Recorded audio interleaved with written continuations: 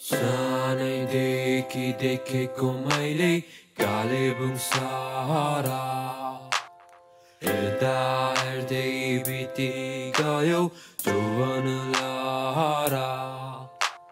हेर्दामा शीतल जान्दिन पित्तल भन्नु यो फरला टाढा र काँडा हावा र पानी यही नै हो मनमा